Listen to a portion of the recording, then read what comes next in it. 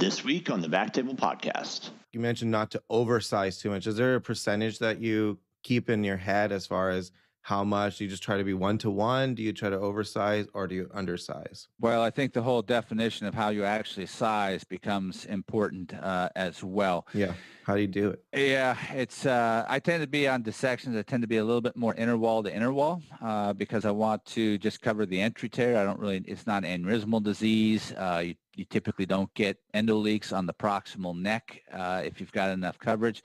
So I tend to be inner wall to inner wall. If it's the acute, uh, like I said, I tend to go off the IVUS. The problem with IVUS, when you get up in that arch, you've got a pretty big curve and you get more of an elliptical structure rather yeah. than a than a, a, a true exactly. orthogonal angle. So you, you I'll look at the minor axis of that of that IVUS image.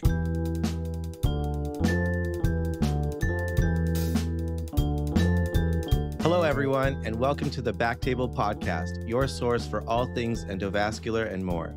You can find all previous episodes of our podcast on iTunes, Spotify, backtable.com, or any other podcast platform you enjoy. RadPad radiation protection products, developed by physicians for physicians and clinically proven to protect during cine and digital subtraction angiography. Don't bet your health on anything less. Trust RadPad protection for all your interventions. See radpad.com for more information and contact info at radpad.com to learn more about radiation safety CME credits for you and your team. I'm Sabeen Dhand as your host this week, and I'm really excited to introduce our guest today, vascular surgeon Dr. Frank Arko, coming to us from Sanger Heart and Vascular Institute in Charlotte, North Carolina. Welcome, Frank. Well, thanks for having me. It's a pleasure to be here.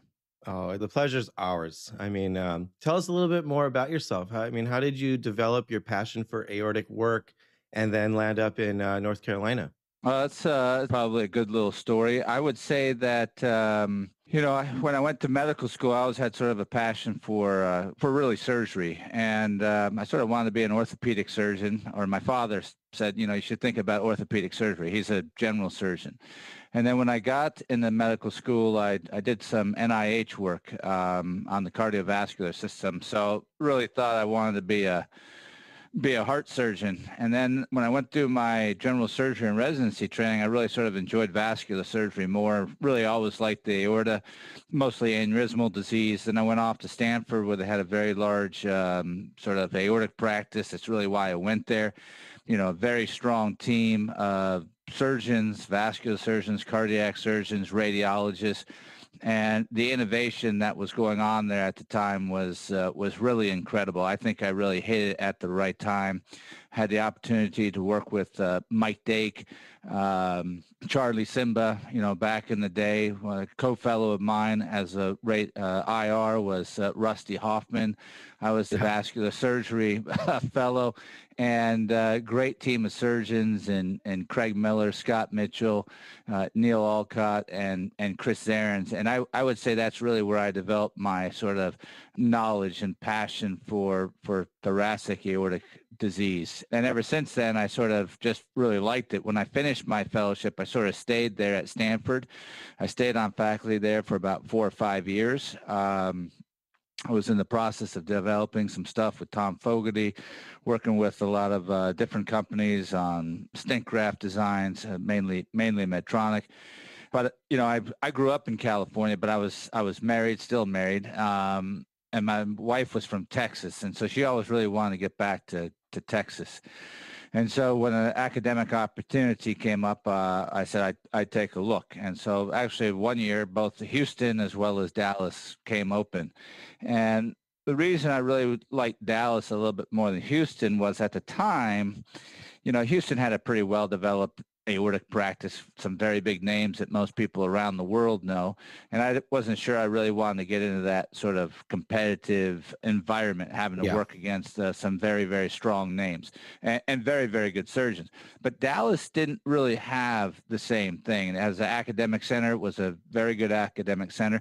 And I wanted to test my ability to, you know, I sort of inherited a practice at Stanford uh, from some people that retired or went on sabbatical, and I wanted to see if I could build my own sort of thoracic practice, hmm. and uh, actually was able to do that. And then when I was there, between both at Stanford as well as in Dallas, Texas, both places I was in these, you know, very well-known academic centers, but frankly, I was surrounded by very large systems.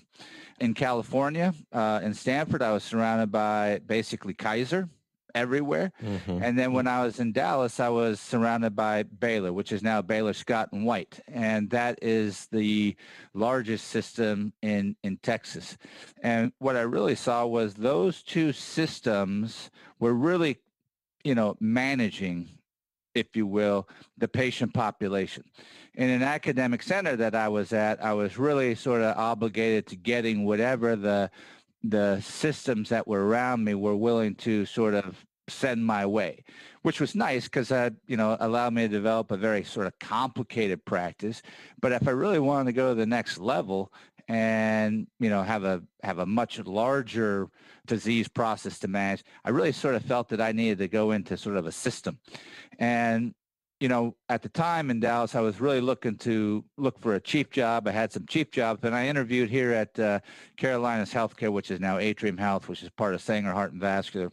And when I got here, what I saw was, uh, one, it was a truly collaborative heart and vascular institute.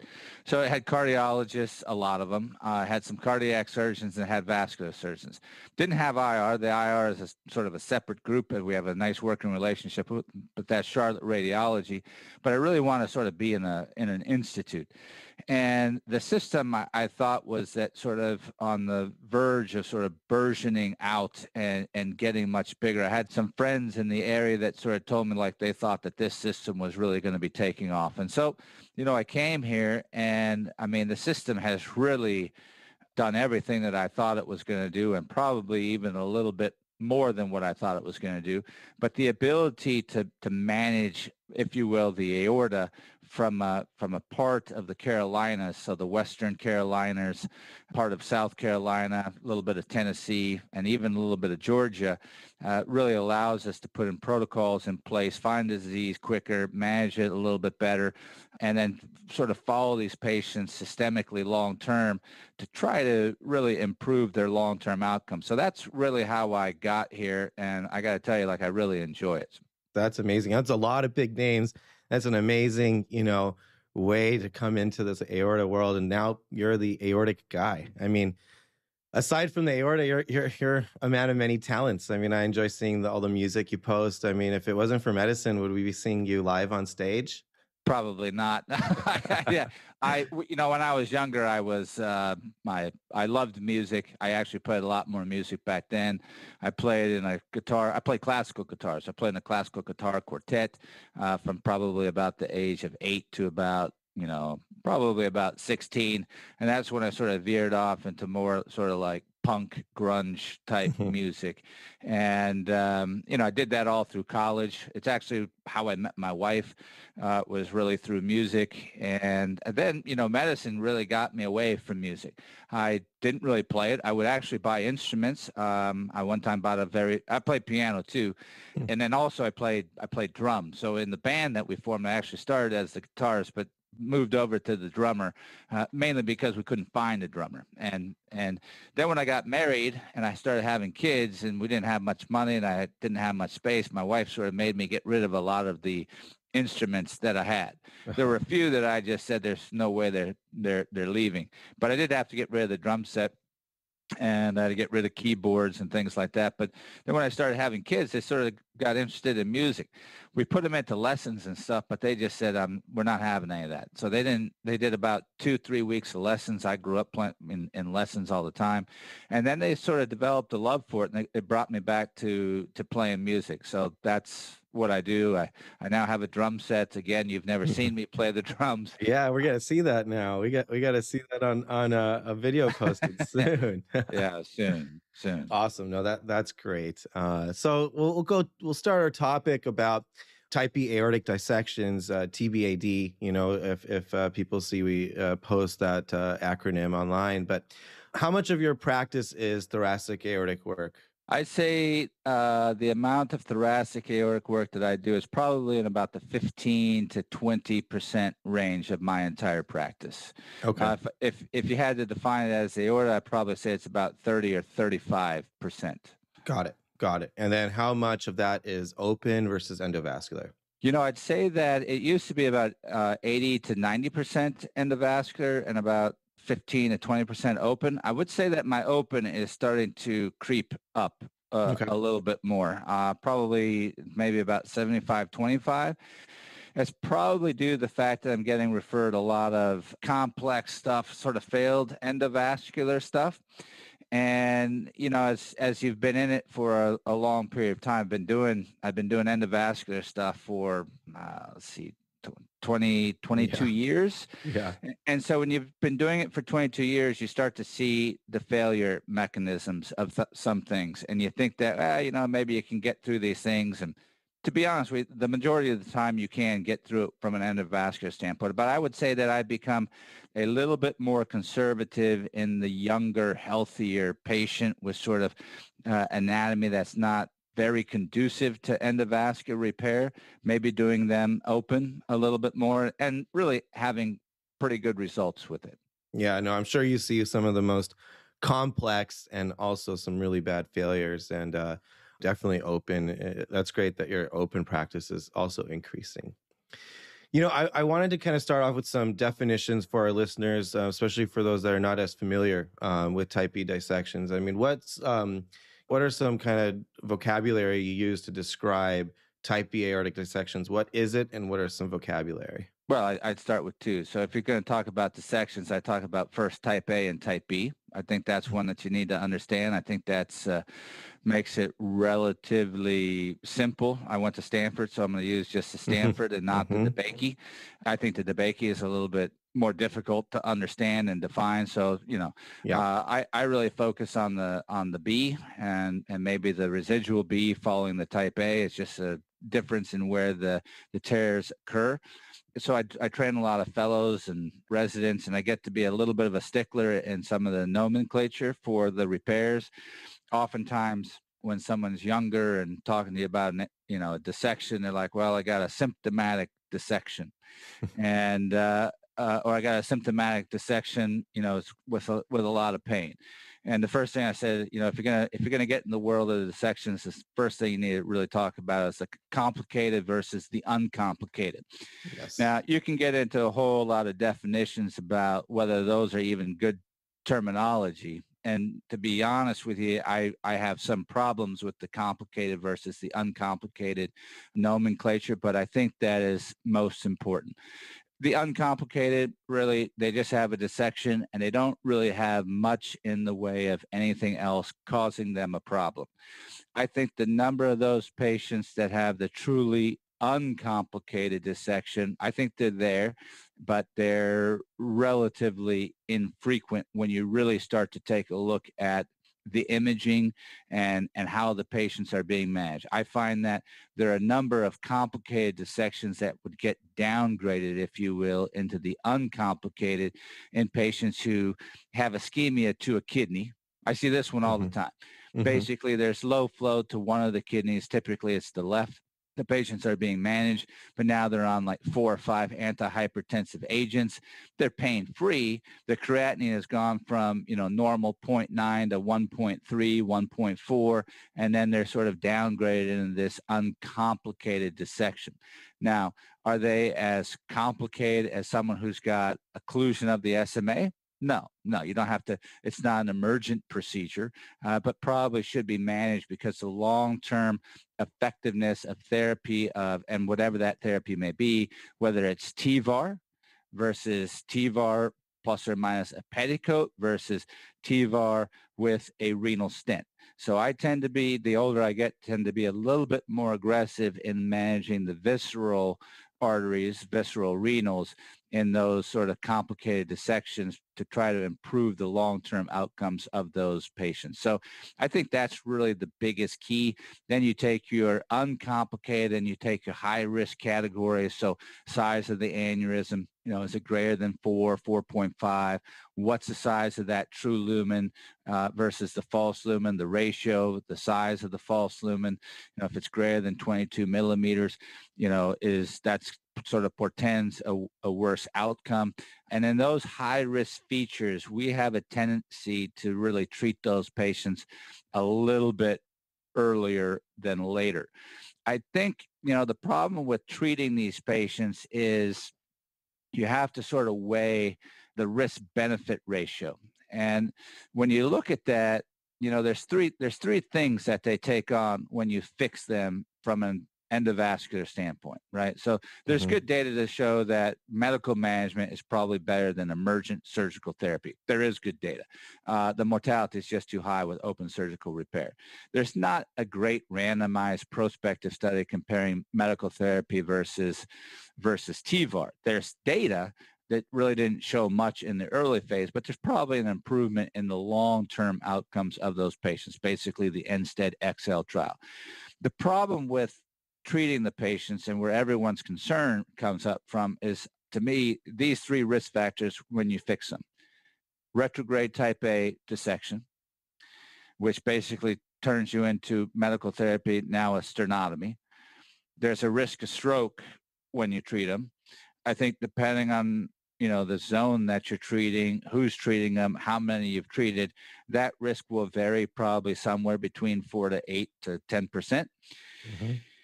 Those strokes typically are not major disabling strokes. They're typically minor non-disabling strokes, but they're still strokes, and we don't know the long-term outcomes of those.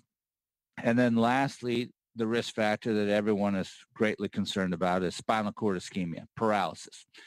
And to me, the worst of those three is really paralysis. I mean, non-disabling stroke is bad if you've got a retrograde dissection and you manage it from a team standpoint, you've always got a cardiac surgeon on board involved. You have to have mm-hmm. that uh, for that complication. Then I think the the mortality or the bad outcomes from that is is not terrible. I mean, if you catch it early, they can be repaired and fixed, and they usually do okay. Spinal cord ischemia and paralysis. I mean, that is just a dreaded complication. It's happened to me. Mm-hmm. Um, it's happened to me with open surgery. It's happened to me immediately after. It's happened to me delayed for four weeks after I did TEVAR. And the problem with that is if they get permanent paralysis, it really is just a very, very tough way to live for someone who's older. And the mm-hmm. risk of mortality long term in those patients is, is relatively high, especially in the first six months after. If we can figure out how to minimize or eliminate those three sort of major complications, then I think you can get into the role of everybody that has a dissection type B should maybe undergo TEVAR. But until we can sort of eliminate those or minimize those three things, that's why you will, I think, continuously have this argument over medical therapy, optimum medical therapy, versus early TEVAR, whether it's in the acute phase, the subacute phase, or the chronic phase. As a surgeon who, who sees more the the chronic, and so again, you get in these sort of definitions, acute. So in the first 14 days, gets a subacute, and that definition changes. So depending on uh, inclusion exclusion criteria or uh, varying guidelines, it could range from 14 days to 30 days or up to 90 days. And then you got the chronic, which is longer than that. The problem with those definitions as well is because they start to talk about the lamella or how the how the tear is and what you can do from an endovascular standpoint versus open surgery is then getting into that chronic dissection. So I want to treat the early stuff to try to minimize someone getting to the chronic phase.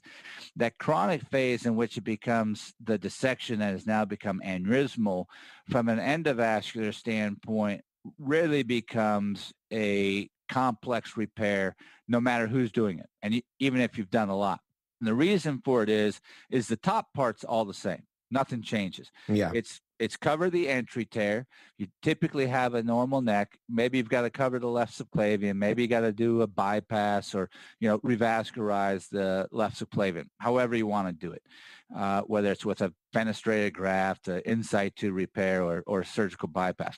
The problem gets on the bottom side. Exactly. And when you come to the bottom side, sometimes I think you almost take the chronic dissection that's been slowly getting aneurysmal because you got a you got the inflow and then you got reentry tears down at the bottom. Sometimes when you go in with the chronic phase, you go up to the top, you cover the entry tear, but you don't have any ability to sort of fix the stuff on the bottom. And when that happens, I think in a, in a select group of patients, you get this sort of just a entry flow, but is now on the bottom. And you start to see this a little bit more rapid increase in size of the of the thoracic aorta. So then you got to get in that more complex repair of a of a four vessel fenestrated graft. That becomes a very difficult repair uh, in anyone's hands. And so if we if I think what happens if we can treat those earlier ones, we minimize those operations that are needed in the chronic phase. And what happens is in the chronic phase, you never eliminate the three risk factors that you take if you fix them early. You still have that risk of stroke, you still have that risk of retrograde, and you still have the risk of spinal cord ischemia. So that's why I like to treat more and more type Bs earlier to eliminate that risk of needing that more difficult, complex repair. I think most large institutions can treat and treat well the type B aortic dissection. What's, you know, certain mm-hmm. protocols and instruction and, and doing it as a team system. When you get in that more complex repair, that type 2 thoracoabdominal, which is from the mm-hmm. dissection, mm-hmm. that I think is probably limited to about 15 to 20 centers, maybe more, uh, within the U.S. that actually can really do it well. The problem with that is just patients like this all over the United States trying to seek places to go and you know then they can't afford to get where they need to go and they want to do it yeah. wherever it's being done and maybe you know physicians are can say oh i think i can do it but i haven't done that many but patients want to do it and i think you get into issues with sort of outcomes, specifically mortality and spinal cord ischemia, yeah. uh, in, in those patients being treated at not large volume centers. Yeah, I mean, I mean, these cases can be real complex. Uh, you know, a, a, simple type B, sure, that can be easier to fix, but these complex ones should not be treated at a low volume center. So you, mentioned a lot, a lot of vocabulary there. So that's great. I mean, uh, we're gonna touch base on all of that. I you, you mentioned entry tears. Your workup. I, I think all, all of us agree that the CTA is kind of your your main workup on a on a type B dissection. Is there is there any other imaging modality used like echo or MRI? Uh, I don't use much in the way of MRI or MRA. I do get echoes on every patient that has uh, has a dissection. Uh, one, you can take you got to make sure that the aortic valve is okay. Uh, you can take a look a little bit at their ascending, take a look at what the um, diastolic and systolic function of the heart is. Uh, you can look and see if they've got uh, left ventricular hypertrophy. Uh, when I treat the patients, the only other imaging that I tend to get is uh, I use IVUS in all my patients, mm-hmm. which sort of helps me identify what the flap is, make sure I'm not in the false lumen when I want to be in the true lumen. Those are the three main imaging studies that I get. Okay. And I mean, patient comes, you know, say the acute or hyperacute phase to the ER, initial medical management. What's your what are the BP goals um, that that you kind of want to keep your patient at? Sure. So when we get someone, we will typically admit them to an ICU. Uh, we've got a very mm-hmm. good working relationship with our uh, pulmonary critical care uh, team. We tend to use just the AHA guidelines. So the first thing we want to do is actually drop the heart rate down. Uh, we try to get it in the 60 range if we can. Mm-hmm. Uh, that's typically managed with esmolol. And then for the blood pressure, we want to get that down uh, typically in about the 120 systolic range uh, if we can. Uh, we'll use esmolol for that. If we need as a secondary drug, we will tend to use Cardene. Got it. Now, the one thing that we will do when we initiate that, in, and we we probably treat about 70 to 80 dissections on a yearly basis, is we want to try to start initiating oral medications on those patients as soon as possible. Uh, we will typically go with, uh, with a beta blocker, calcium channel blocker, the Norvasc, and then an ARB or an ACE inhibitor. The one important thing to remember is trying to be that aggressive with the medical therapy is there are some patients who just cannot tolerate that blood pressure. Because they've just been used to a much higher blood pressure. So they'll get some cerebral hypoperfusion. Uh, you might start to see them uh, become a little bit confused. You might actually start to see their creatinine uh, rise. And if you see that stuff, then you really need to lighten up on the medications. That would be also another indication for us to treat those patients a little bit earlier uh, so that we can relax on the blood pressure medications. Got it. Uh, any other high risk anatomical? I mean, you talked about uncontrollable BP. Uh, what about pleural effusion or uh, an aortic size? Pleural effusion worries me. They tend to typically have a, a pain with that. I don't think that they're at uh, you know any real risk of rupture unless the size of the aneurysm is getting bigger, and you can't control their pain, and they have a pleural effusion. Then I get a little bit more worried. I see a lot of patients who I can get into that sort of uh, uh, no pain uh, with relatively easy medical therapy that may still have a pleural effusion. And that pleural effusion will typically go away. Now, if the size of the aneurysm is big and it's 4.5 mm-hmm. or 5, then I get a little bit more concerned that they're going to be at some sort of impending risk of rupture. It's relatively rare, but I think it, it can occur. And when you talked about treating patients earlier, I mean, that's the big debate for, you know, non-hard indications like rupture or malperfusion. When is your ideal time frame that you like to treat these patients? Is it three days, 10 days, two weeks? Maybe someone who has some of these high risk clinical features, but is otherwise, well, as we said, they fit in that zone that's complicated. Yeah, if they're in the complicated section, then I just I, I tend to treat them uh, relatively quickly. It would te- it would depend on the level of the complicated section. So for me, if they've got leg ischemia, SMA ischemia or spinal cord paralysis, you're going to get an operation right away. Yeah. If mm-hmm. if you're coming in and you've got a rising creatinine, you've got some sort of low flow to that left kidney, I'm probably going to treat you at about the five to seven day range. And uh, that would be the complicated section. Of course, if they're ruptured, that's that's immediate. If you're getting someone who's coming in, they got uncomplicated section, but they have high risk features, so yeah, large, exactly large false lumen. Uh, if they have continued pain, um, mm-hmm. I think they need to be treated before they leave.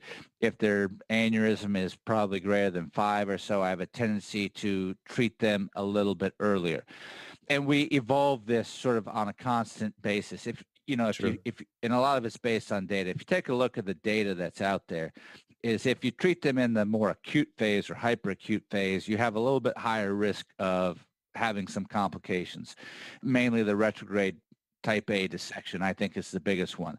So we like to try to get them normotensive, non-pain free out of the hospital if we can, and then we will try to treat them at about four to six weeks or really after 30 days. And you okay. start to take a look at all sorts of different stuff. So we're looking at readmission rates uh, within 30 days for patients. Every physician is looking at that. Every hospital is looking at that. And one of our biggest readmission rates is actually the type B dissection in which we manage medically, discharge home, and then they come back three, four days later because now they're having pain. pain. And if they, yep. if you come back with pain, we're, we're then going to treat you. But those patients are typically the patients that have some high risk features like we mentioned. So I would say mm-hmm. I'm and we as a group are tending to become a little bit more aggressive in those high-risk patients and treating them earlier before discharge rather than later. Got it. Yeah.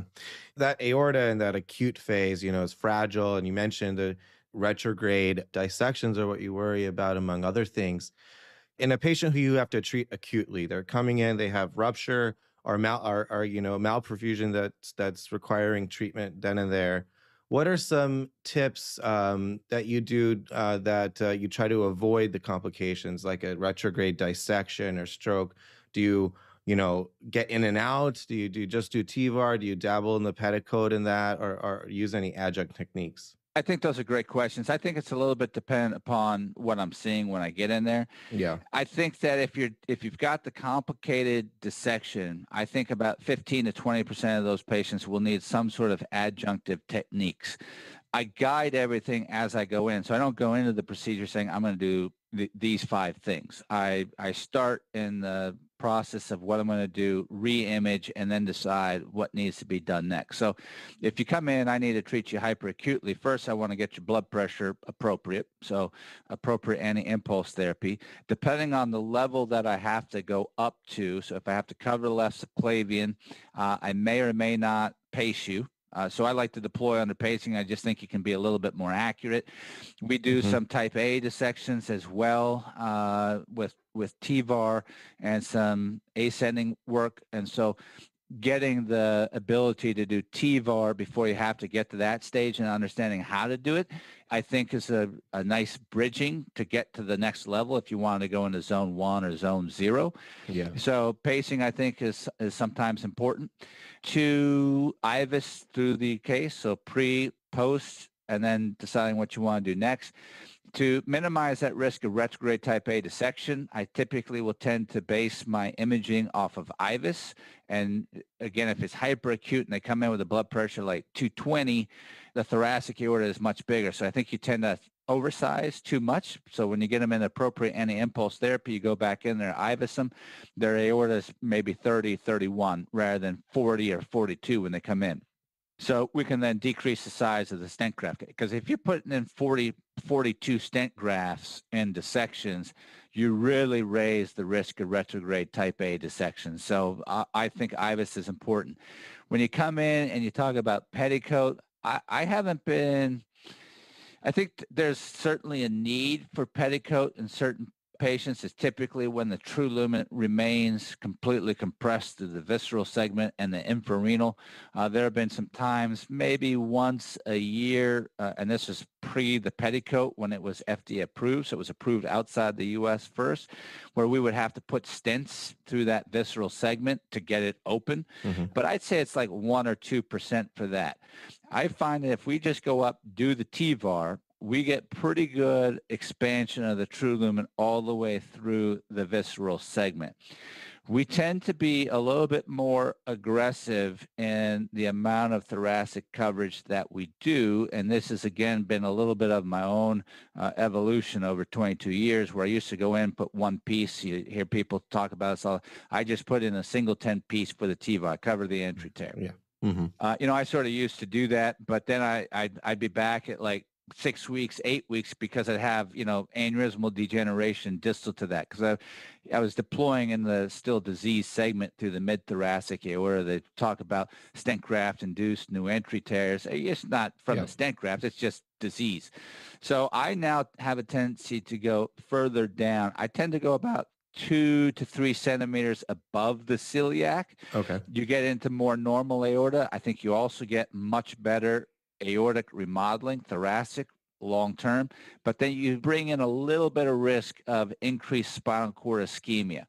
We haven't really seen that there, but you know we certainly have it we can usually recover it. Uh, but the data in China, in which they've got a lot, when they've gone down that far, had a slightly increased risk of spinal cord ischemia. So when you become a little bit more aggressive, you have to manage that complication. Mm-hmm. Then once I do that, then I sort of take a look at the visceral segment, sort of see what's going on. I tend to be a little bit aggressive on treating the viscerals and the renals.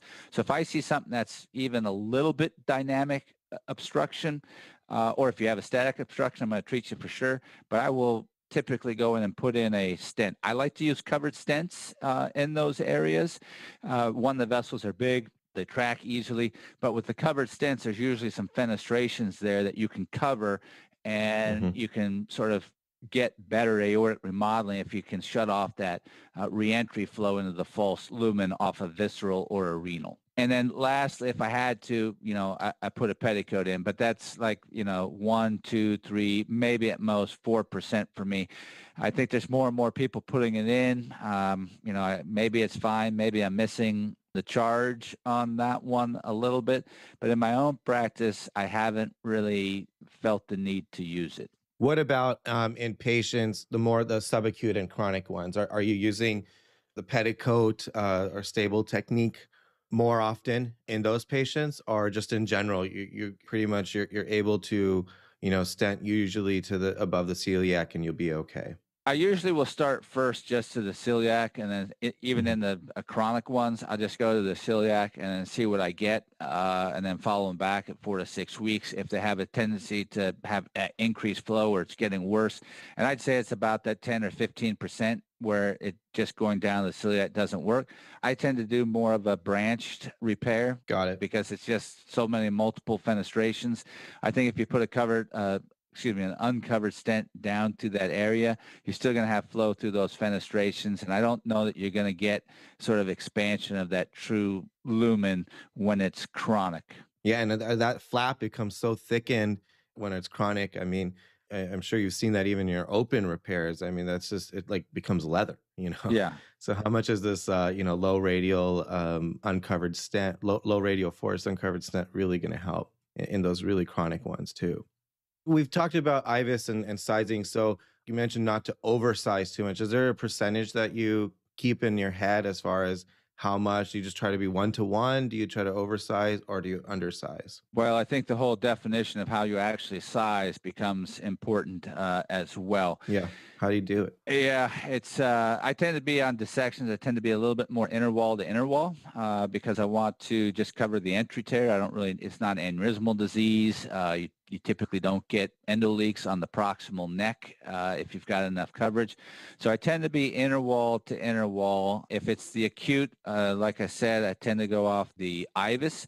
The problem with IVUS when you get up in that arch is you got a pretty big curve and you get more of an elliptical structure rather Yeah. than a than a, a, a true Exactly. orthogonal angle. So you you I'll look at the minor axis of that of that IVUS image, and then I look if I had a repeat CT scan after the acute one, then I'll sort of compare that to the CT scan. If it's looking like that's 31 and my minor axis is 31, then you know I'll go with a device that's probably and again depends on the device that you have.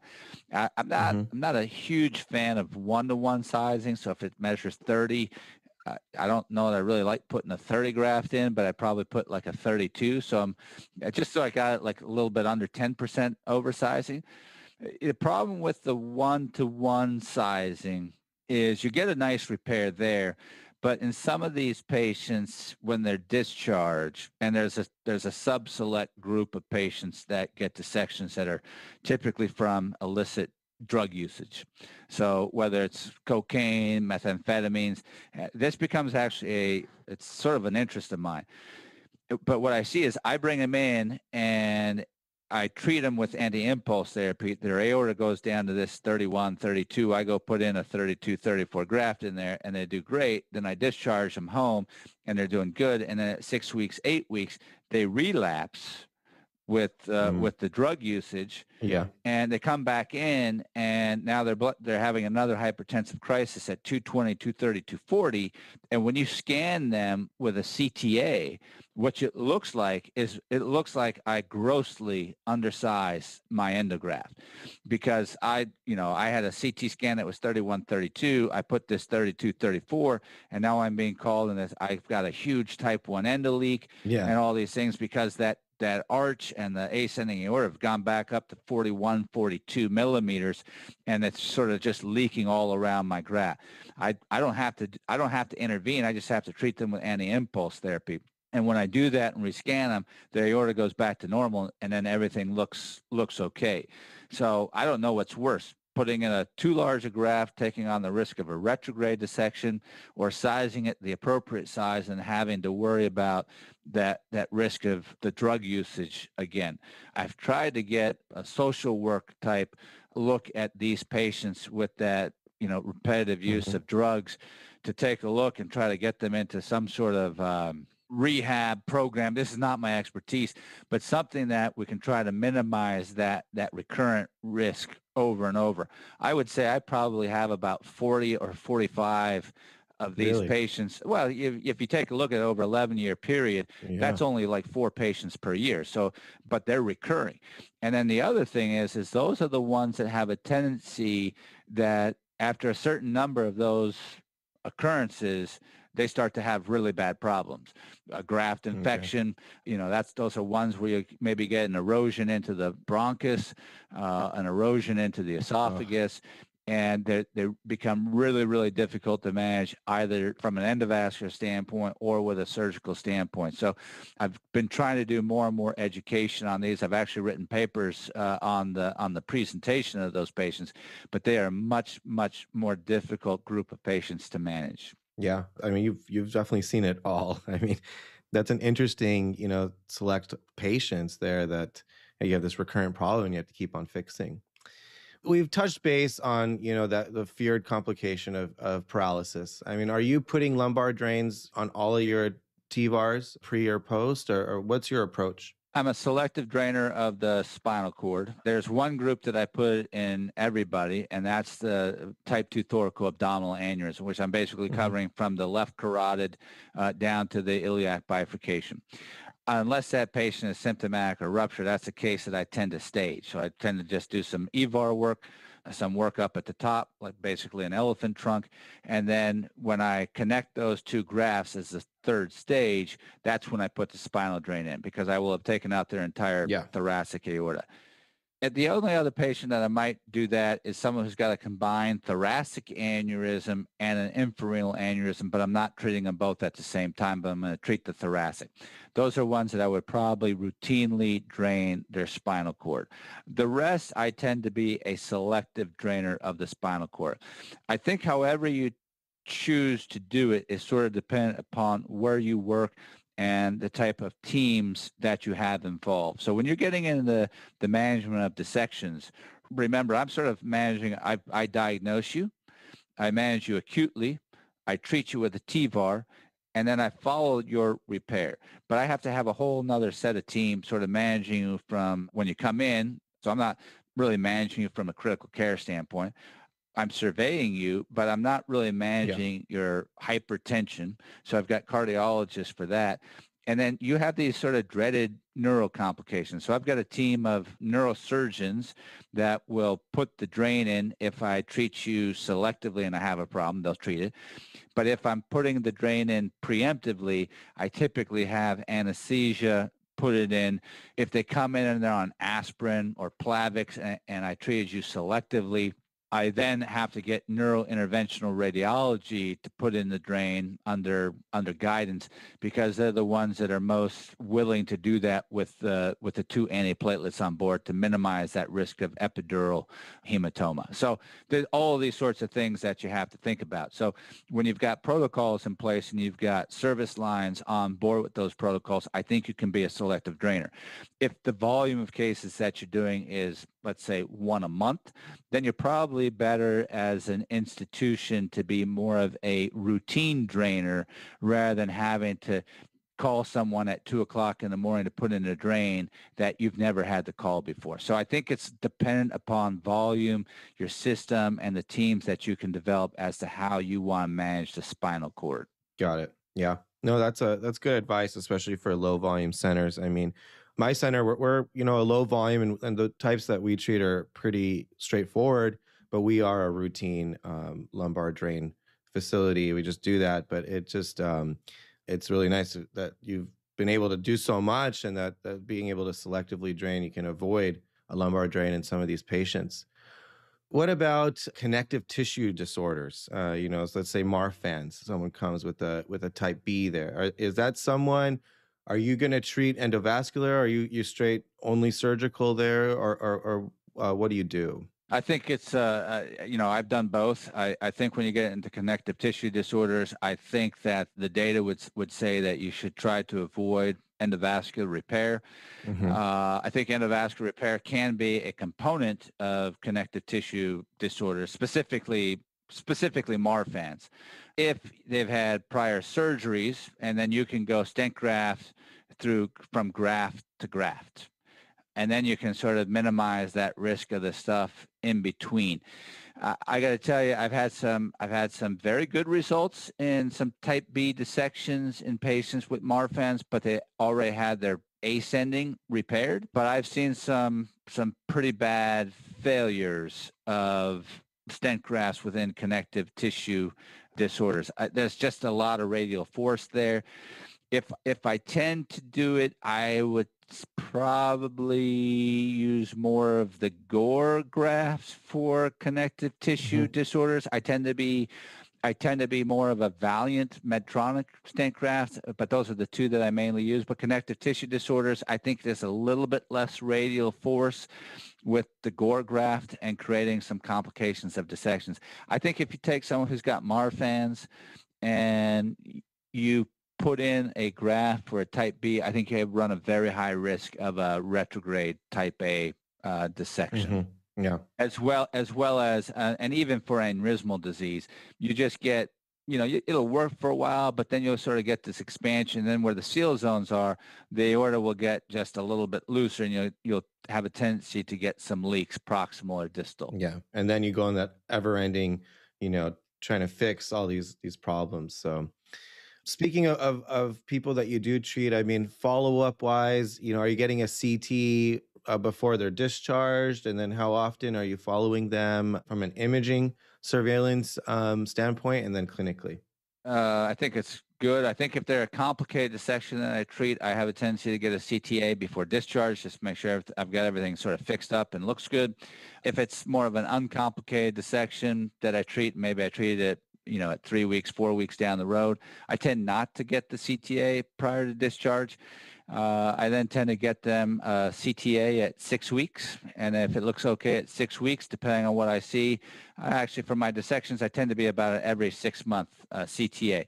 If I get you out to a year and and you've got very good remodeling, uh, your th- thoracic aorta is remodeled, but maybe you still have just a little bit of dissection through the visceral segment, but it's frankly not that big, or it's a little dilated, 31, 32. I then just tend to follow you on a every 12 month basis. Okay, that's good. And then these adjunct techniques, I mean, how often in your now in your experience are you going back and treating the false lumen and, things like that? I mean, is is it happening often or your your technique has improved to a degree that that it's not happening as much? I think it's a little bit depend. I'd say it's about 10, 10 to 15% of patients where I have to go in and do some further therapy. Uh, that therapy can be endoluminal therapy of the false lumen, which, uh, you know, I do, but I don't know that we have any sort of real good techniques to, to do it. Uh, he basically, you know, I've given the same talk with Mike Dake, and he goes up there and says you're throwing the kitchen sink at the false lumen, and you don't really have any sort of therapy for the false lumen. We we attempt to figure things out, which is a lot of what IR has done throughout their entire career. Let's let's figure out what we can do, and I think that's very helpful. I think for the false lumen industry has not done a very good job and trying to develop tools for mm-hmm. managing it. But I, I, think I think they will with time. I, I think the reason is is because they're still they're still trying to develop the market for for the type B dissection. Yeah. And so they're not seeing the numbers of complications that you have unless you're a high volume center. So long term, about 10, 15%, probably going to go higher than that as patients live longer. I find it typically occurs more in those patients who just fail to manage their hypertension and that distal segment just grows. Again, you can get into branch vessel technology. You can get into false lumen therapy, which will maybe occasionally work, but probably going to work for two, three years. Um, and that's, you know, coils, plugs, making your own plugs, yeah. and then just throwing stuff up there in the hopes that it's going to thrombose off. But I think the, the best way to manage is just complete you know, reconstruction of that visceral infrarenal aorta. Again, whether it's open surgery, uh, combination of open surgery and endovascular techniques or just a pure endovascular management for it. Yeah, I mean, you got those BEVARs and, and, and all, all kind of complex that we won't go into today, but Frank, this is awesome. I mean, uh, I think this is a really great overview of uh, type B aortic dissections. There's so much more that uh, we can cover and go into more detail that I think we should do as a follow up sometime, you know, uh, and go more into the complex uh, stuff. But we really, really, really enjoyed having you today. Thank you so much. I learned a ton. Okay. Well, you're welcome. And thanks for having me. Yes, of course. Of course. Thank you.